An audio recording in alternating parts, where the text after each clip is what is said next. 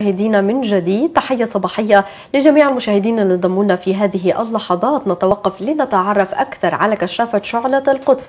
هذه الكشافة التي نشطت بشكل كبير في الفترة وفي الآونة الأخيرة, الأخيرة من خلال الفعاليات والنشاطات التي أقيمت في منطقة كفر عقب في ظل غياب السيطرة الكاملة من قبل السلطة الفلسطينية بتلك المنطقة بالتحديد ومنذ بدء جائحة كورونا. نتعرف نتعرف على الفعاليات والنشاطات وعلى هذه الكشافة مع ضيوفنا في الاستوديو يحيى أبو شلبك قائد كشافة يسعد صباحك. يسعد صباحك. وصباحك. وأيضا تنضم إلينا نرمين الدجاني قائدة كشافة في كشافة شعلة القدس. يسعد صباحك نرمين. يسعد صباحك. كيف أصبحتوا؟ الحمد لله. أهلا وسهلا فيكم. يمكن نبدأ من عندك يحيى. ونبدأ من البدايات. ونبدأ نتعرف على الكشافة بشكل أكبر. كشافة شعلة القدس منذ نشأتها وتأسيسها لحديت اليوم قبل أن نخوض بالفعاليات بشكل أكبر. هلا بداية إحنا في منطقة كفر عقا في ظل غياب السلطات الإسرائيلية لأنها هي منطقة تستعب على السلطات الإسرائيلية وفي ظل غياب السلطة الفلسطينية. فإحنا مجموعة شباب أسسنا جمعية جمعية سميرة ميسكو فراقب الخيرية على أساس إنه تكون إشي رسمي نقدر نخوض فيها في المنطقة نعم. نقدر نحسن من المنطقة. فبلشت الجمعية بلشنا نسوي فيها نشاطات كثيرة من ضمنها اللي هي مجموعة الكشافة اللي هي اليوم أكبر مج... أكبر نشاط في الجمعية. هلأ أسسنا المجموعة الكشفية في سنة 2015 وبلشنا فيها من البدايات. ونضم أعضاء من المنطقة الاولاد المنطقة الأطفال في المنطقة على أساس إنه يتربى جيل نظيف في ظل المنطقة اللي هي موجودة. فبعد هيك إحنا صرنا ننافس إذا بدنا نحكي من ناحية مجموعة كشفية ننافس على مستوى فلسطين ومستوى القدس في المجموعات اللي لها سنين في ال في ال على الساحة. بحكم إنه إحنا اشتغلنا اشتغلنا منيح على أساس إنه نطور من حالنا. على هذه بداية المجموعة الكشفية والحمد لله اليوم بتضم أكثر من 200 عضو كشفي من أشبال وزهرات ومنجدات ومرشدات اللي هو نحكي الذكور والإناث في كافة الأعمار. جميل. يعني 200 شخص أنتم حاليا في تقريبا أوه. في الكشافة تقريبا. طيب نرمين بدنا نحكي عن الفعاليات. ما قبل جائحة كورونا اللي كنتوا بتتميزوا من خلالها وكنتوا بتنافسوا الفرق الكشفية الأخرى اللي موجودة فلسطينيا. طبعا هلأ إحنا بالبداية بالمجموعة الكشفية بنتميز بالتدريبات الميدانية اللي هي بتكون تدريبات عسكرية بتم إعطائها لل للشخص اللي بيكون منضم لنا للمجموعة. إنه بنعمل على تقويته من خلال العسكرة من خلال الشخصية من خلال الثقة من خلال روح التطوع والمعطاء اللي بده يعطيها للشخص اللي بتكون قدامه. آه بعدها بخطوة آه أمامية بنصير نعطي للشخص أنه يتدرب موسيقي اللي هو بيكون أنه حامل آلة موسيقية. نعم. اللي هي بتكون تتعدد بالأسماء من خلال درمز إرب أو إرب أو الترمبيتات فبكون كل شخص حامل عدة كأنها بتكون رفيقة لإله. فبكون في عنده الحب والمعطاء فهو بيكون من هون بدايته بأنه يمشي زي خطوة كتير أمامية وخطوة كتير كبيرة فكانت بدايتهم أنهم حبهم للمكان وللإشي هو اللي خلاهم أنهم يتميزوا ويصيروا يبينوا من مش بس كمجتمع داخلي حتى كمان لقدام دولي وعالمي. مم. شو احتياجاتكم نرمين كفرق وكأعضاء كفتيات وكشباب بهذه الفرقة بالمنطقة اللي أنتم موجودين فيها على خصوصية المنطقة كفر عقب. أكيد هو أول إشي أنه الشخص لما بده يروح لهيك مكان لازم يكون متواجد عنده الراحة. فالإشي الرئيسي اللي بده الشخص يكون محتاجه هو المكان إنه يكون عنده الراحة الثقة إيه إنه الشخص ماله إنه في الأخوة والمحبة. إنه أنت رايح لهناك وأنت عارف إنه في ثقة إنك تتواجد فيها. أكيد لكل فرقة ولكل مجموعة في احتياجات عامة بتكون من خلال بيحتاج زي جانب مادي زي جانب عدة من جانب إنه برضه علاقات بنقدر نحكيها إنه علاقات قادة علاقات أعضاء صحبة. فبكون الاحتياجات الاكثر هي إنه من ناحية مكان نتواجد فيه زي ما بنسميه بيتنا الثاني إنه الشخص لما بده يروح هناك إنه يعرف إنه في هناك مكان يوجد جميل. له الراحة أكيد بالضبط. فكل احتياجات بتكون من خلال عدة من خلال أعضاء من خلال مكان نتواجد فيه. وأكيد الجوانب الثانية اللي بيقدر كل مجموعة إنها تخليها موجودة. جميل. طيب يحيى انطلاقا من من شعار الكشافة والخدمة المجتمعية اللي دائما بتميز الكشافات اللي موجودة خاصة فلسطينيا منها الرسالة. انطلقتوا بتشكيل لجنة طوارئ وقادات لمتابعة الوضع في منطقة كفر عقب منذ بداية جائحة كورونا منذ شهر ثلاثة خلينا نحكي. كيف كان الوضع؟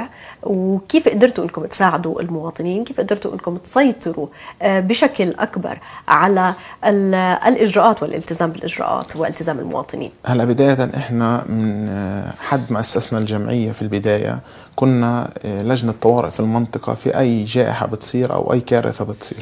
فكان الإشي علينا مش صعب كتير لأنه إحنا في الأساس يعني جاهزين لهي الجائحة. هلأ في فترة الكورونا إحنا بالتعاون مع بلدية كفر عقب لأنه هي الجهة الرسمية في المنطقة وإحنا الجهة الرسمية الثانية في المنطقة. ففي التعاون معنا إحنا أول شيء استقطبنا متطوعين جداد من المنطقة.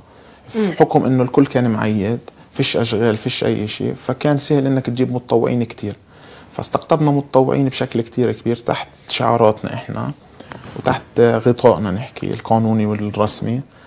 وتم تدريبهم وتوزيعهم على عدة لجان منها الإسعافية منها الطبية منها الإخلاء منها التعقيم منها الدعم اللوجستي وهي الأمور. هلأ بعد هيك إحنا صرنا بالتعاون مع الطب الوقائي الفلسطيني في ظل أنه غياب السلطة الإسرائيلية في منطقة قدس.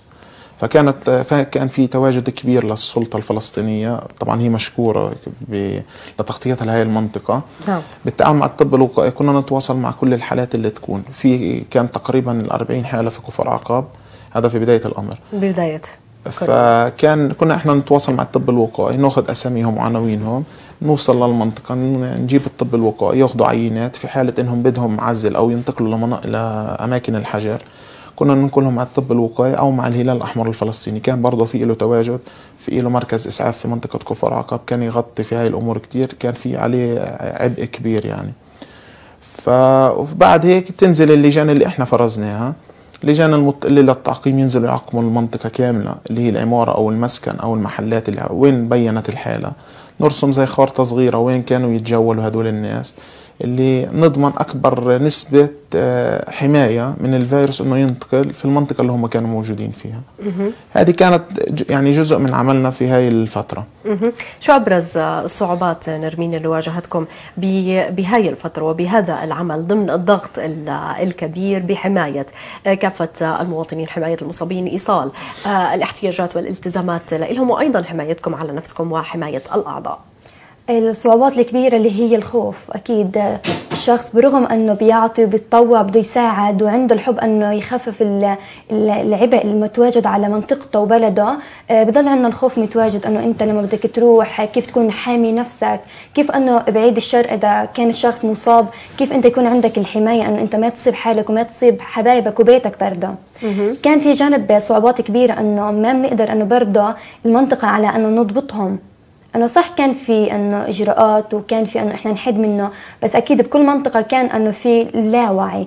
بالرغم أنه الجمعية عندنا والكشافة بنقدر نحكي آه سعوا كثير عملوا كثير أشياء آه عشان يوعوا الناس يفهموهم انه أنه هلأ في عندنا إجراءات لازم أنه الجميع يتبعها للسلامة. فكان هو هذا أنه غلط كثير كبير أنه صح. ما كان في الوعي الكامل. نقدر نحكيها بسبب الجهل المتراكم من قبل مش من جديد. لو كان في عندنا العلم من قبل والوعي الكافي كمان بنلاقي الصعوبات هي متواجدة كمان بنلاقي الصعوبات أقل وأخف من هيك. صح. ذكرتي نقطة جدا جدا مهمة هي نقطة الوعي وعي المواطن وقديش ساهمتوا بوضع نقطة فاصلة لحتى نحد من انتشار هذا الفيروس بالفترة الأولى. لكن ماذا بخصوص الفيديوهات اللي كانت متداولة بفترة العيد وليلة العيد لانطلاق فرق الكشافة بكفر عقب؟ هذا الدور اللي نافى جميع ما قمتم به ببداية هذه الجائحة. كان هنالك تجمع كبير للمواطنين في منطقة كفر عقب. كان هنالك عدم سيطرة أيضا من قبلكم على هذه الفئات. يحيى. على بداية الإشي إحنا لحد ما تم إعلان إنه هاي الفترة فترة طوارئ وتسكير إحنا كنا مشاركين في تسكير المنطقة مشاركين في توعية الناس مشاركين في اعلاميا إنه نوعيهم لحد ما إنه آه، قدرنا إنه نسيطر على المنطقة. هلأ لما انفكت الأمور الطوارئ أو ال- دولة رئيس الوزراء أعلنت إنه نحكي تخفيف حالة الطوارئ وفتحوا رام الله وفتحوا كل المحافظات تقريبا. فإحنا كان في دورنا للناس اللي ليلة العيد ما كانت مفتوحة. ليلة العيد آه، صار في هيصة بكفر عقب صار في تجمع هلأ- كبير. هلا كفر عقب من بداية الإشي هي كانت خارج نحكي ال- النطاق. النطاق نطاق التسكير نطاق ال- الإغلاق. إحنا م. كنا إنه نشارك بشكل كبير إنه نسكرها. بس في ضمن إنه فيش نحكي سلطة تنفيذية أو في ضمن إنه كانت السلطة التنفيذية مؤقتة مع وقف التنسيق اللي صار. فإحنا كنا نحاول إنه نسكر. هلا إحنا سكرناها في الوقت اللي كان لازم تتسكر فيه.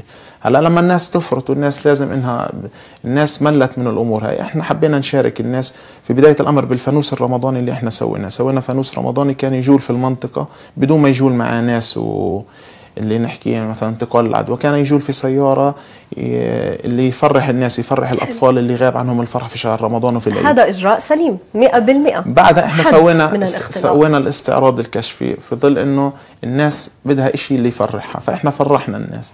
كان في أمور من التباعد. إحنا كان في بيننا ككشاف إنه التباعد الكمامات اللي نلبسها. بس فيش يعني نحكي ما سيطرنا كتير إنه الناس صارت تتجمع. هلا إحنا ما بنقدر يعني بظل إنه وقف نحكي الفيروس أو انتشار الفيروس فإحنا حكينا إنه مش مشكلة. بالنهاية الناس انبسطت يعني. لكن كان بإمكان إقامة هذا الفرح وإرسال رسالة ال- العيد من قبلكم بطريقة آه، ممكن تكون تباعدية بشكل بشكل آخر من خلال وسائل. التواصل الاجتماعي من خلال ويحيى ما حكى هاي النقطة ممكن. هلا الاستعراض الكشف اللي تم بالمنطقة إيه، كان متبع إنه إحنا نوصل لكل حارة ولكل زقة إنه الناس ما تتجمع لنا بالضبط. آه بالضبط. هاي النقطة الرئيسية اللي كنت بدي أحكيها. إحنا كانت فكرتنا نفس نفس فكرة الفانوس اللي هي جميل. أنه آه كل بيت كل عائلة أنها تبقى حريصة في منزلها. وإحنا نتوجه للبيوت لكل زقة. ومن خلال الشبابيك من خلال البيوت بيقدروا يشوفوا العزف الموسيقي وال- والحفلات اللي بتتم من خلال كمان أيضا المهرجين. هلا- وأيضا الفانوس كمان. هو هيك كان هدفنا بس الناس فاجأتنا استنتنا في الشوارع. هذا هو. هذا من هم كثر كان- اشتياقهم للاستعراض اشتياقهم للإشي تبعهم الفرح للمجال تبعهم. لأنه هم كانوا من كان يعني زيادة تهيج. بتحكي. صح. صح وكان في ضغط وكبت لل ثلاث شهور للجميع انت بتحكي تسكير يعني. صح وهو عدم الوعي يعني بالرغم من إحنا حرصنا وحاولنا انه نفهمهم إنه إحنا رح نجي لكم بس بيتم إنه عدم الوعي وعدم وجود السلطات الصحيحة في المنطقة أنه ما بنقدر نضبط الجانب هذا بكل تأكيد يعني يعطيكم ألف عافية على الجهود اللي اللي بذلتوها منذ بداية الجائحة لحديث آه، اليوم دائما بيكون في آه، لبعض من الانتقادات من قبل. المواطنين وفي لبس لكن نحن حبينا نوضح هذه الإشكالية اللي آه، تم هنالك انتقادها بالفترة والآونة السابقة في الأيام القادمة. كيف من الممكن أنه يكون في تحضيرات من قبلكم ككشافة لأيضا آه، فرض سيطرتكم وفرض فعالياتكم على آه، منطقة آه، كفر عقب بشكل أو بآخر لكي نستفيد مما مضى ونقدم المزيد لأبناء الوطن. هلا إحنا بداية آه، في نحكي في يوم تكريمي لكل الناس اللي اشتغلت في جائحة الكورونا من متطوعين من مؤسسات من فعاليات. إحنا راح نسوي لهم يوم تكريمي كجزء من الشكر لهم هلأ فيما بعد إحنا شغالين على نفس وتيرة الكورونا إنه المتطوعين اللي عندنا إحنا راح ندربهم على إنه يكون آه يكون في حالة أي كارثة أو جائحة موجود المتطوع جاهز مش لسه نقعد نجمع زي المرة الأولى نقعد نجمع ونبدأ نشتغل متطوعين من نبدأ أول نشتغل. من من مرحلة الصفر. لا إحنا حاطين قاعدة من المتطوعين المتدربين على الأمور هاي.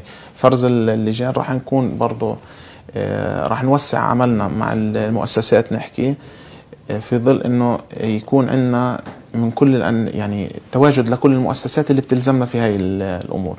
وإن شاء الله إحنا نكون سهل علينا وإن شاء الله تكون في تعاون من كل الأطراف. في الأمور. شاء الله إن شاء الله. آه، نرمين حابة تضيفي شيء قبل ما أسألك؟ آه تفضلي. في كمان نقطة رح نشتغل عليها اللي هي زيادة الوعي كمان للأطفال مش بس لل- للأعمار اللي بتكون هي مناسبة أنها تشتغل بهيك جانب. ففي فكرة اللي هي الجمعية رح تعمل فيها هي آه قامت فيها يعني من قبل بس رح تعمل على استمراريتها. اللي هي دورات إسعاف أولية. آه، للأعمار حتى الصغيرة علشان الشخص كمان لما يكون ببيته آه، يصير ذا كارثة جديدة أو حدث بالبيت يكون هو جاهز وقادر أنه يتفاعل مع هذا الموضوع ويخف من آه، يعني ضغط الموضوع أو الكبت اللي بتكون في صح. داخل كل منزل. صح. طيب نرمين كفتاة نحن بنعرف إنه المرأة هي نصف المجتمع ولكن نرمين كفتاة وكسيده هي عم تشتغل بهاي المجموعة هي جزء من هاي المجموعة هي حابة تقدم لوطنها لأبناء وطنها شيء. شو اللي ممكن إنها هي تقدمه المرأة والفتاة من خلال هاي الفرقة في ظل آه الكثير من الانتقادات والتنغيصات المجتمعية اللي ممكن إنك توجهيها بانضمامك للفرقة. هلا الفتاة بتقدر تقدم كثير جوانب لأنه آه، الداخل اللي عندها المعطاء بكون جدا كبير. آه، في المجموعة الكشفية عندنا الفتاة عندنا الأعمار من أعمار صغيرة كمان مش بس كبيرة. آه، من ونعودهم من هم وصغار أنه الفتاه قادره إنها تعمل كل شيء آه، فأنه إعطاء الثقة وإعطاء الشخصية للفتاة من هي وصغيرة أنها بتقدر تسوي أي شيء فهي بتكبر بأحلامها وطموحاتها بأنها تكون مماثلة كالرجل من ناحية كل بكل مجال من ناحية العزف من ناحية العسكر من ناحية آه، وقوفها بكل مكان. فهي يعني رح تكون آه، امرأة قادرة وفعالة من خلال الثقة المعطاة لها. إحنا تنويه بسيط بالنسبة للفتاة. إحنا كنا من أول المجموعات اللي في القدس اللي دخلنا الفتاة في الأمور الكشفية في العزف. يعني إحنا في فرقة القرب اللي نحكي إذا كنا عندك علم عنها. آه طبعا. آه فيش ولا مجموعة كان فيها فتاة فتيات. تعزف تعزف القرب أو الآلات النحاسية. إحنا أول المجموعات اللي في القدس دخلنا الفتاة على هي يعني شاركنا الفتاة في مع الشاب الذكر والأنثى في أمور العزف نحكي أو الأمور الكشفية على أساس إنه ما يكون في بينهم اي فروقات. أي فروقات أي مشاكل جميل. اي شيء حتى جميل. كمان من جانب انه العدة برضه لها وزن وثقل. فكان في عندنا برضه الآلة اللي هي الدرمز الإرب آه وزنها بيجي كتير كبير. آه كانت أول فتاة اللي هي بتحمل درمز إرب من المجموعات المقدسية اللي هي أنا. كنت. بدايتي كان يعني هو له وزنه وله مكانته كانوا الشباب هم القادرين إنهم يحملوا هيك عدة. فكانت خطوة كبداية لنا إنه تحمل هيك فتاة وحتى لاحظنا إنه كثير مجموعات صارت مقدسية وكشفية انه الفتاة صارت مماثلة للرجل بحمل العدة الموسيقية الثقيله برضه. جميل. ما شاء الله عنك نرمين. شكرا لك أهلا وسهلا فيكم. آه رسالة أخيرة بتحب توجهوها من خلال هذا اللقاء. نبدأ من عندك يحيى. في بداية المطاف إحنا بنشكر كل واحد شارك في هاي في خدمة أهل منطقته خاصة وفلسطين عامة. نتمنى من الجميع أنه يكون في عندهم وعي أنه يسمعونا يوم إحنا نحكي يسمعونا يوم إحنا بدنا نف يعني إحنا بالنهاية يوم نحكي بنحكي لمصلحة الجميع. مصلحتهم بالضبط أنه يسمعونا ياخذوا يفكروا في الموضوع بشكل خاص أنه على مصلحته قبل مصلحة الناس العامة. وبنشكر الجميع ونتمنى أنه يكون في مش يعني آه، مزيد من النشاطات هاي في آه، في الفترات الجاية إن شاء, إن شاء الله وبظروف أحسن إن شاء الله بظروف أحسن طبعا. ان شاء الله. نرمين حابة تضيفي شيء إيه، رسالتي الدائمة هي انه فكر بنفسك وبعائلتك قبل ما تشوف المجال اللي قدامك لأنه حمايتك لنفسك ولبيتك هو مساوي لكل العائلات. فحافظ على حالك وحافظ على بيتك رح تلاقي إنه الإشي كتير حلو وكتير جميل. وبرضه يعني إنه نشكر كل جهة رسمية ساعدتنا وكان لها العمل إيه، معنا. أنا بدوري وبدور طاقم برنامج جديد نتشكر وجودكم معنا. نورتونا في هذا اللقاء يحيى أبو شلبك ونرمين الدجاني آه، قائدة في كشافة شعلة القدس. يسعد صباحكم. نورتونا ويعطيكم ألف عافية. يعطيك ألف عافية. شكرا كثير. مشاهدينا نذهب وإياكم إلى فاصل قصير ومن ثم نعود لمواصلة باقي محطاتنا وملفاتنا من برنامج يوم جديد لهذا الصباح. فابقوا معنا